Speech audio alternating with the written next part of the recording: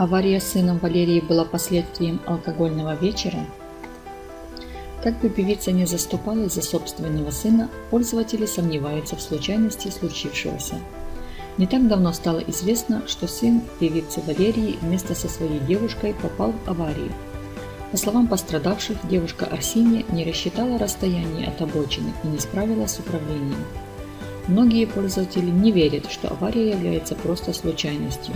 По их мнению, авария с сыном Валерии была последствием алкогольного вечера.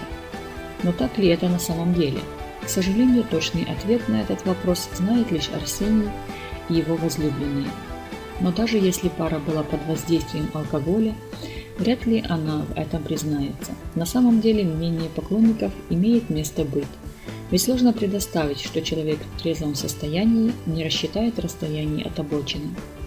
Похоже, спутница Арсения была явно не в себе.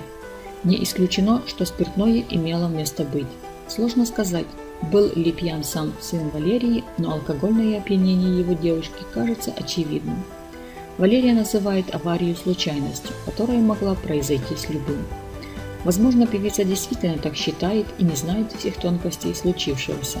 Остается лишь надеяться, что совсем скоро Арсений и его девушка забудут о происшедшем.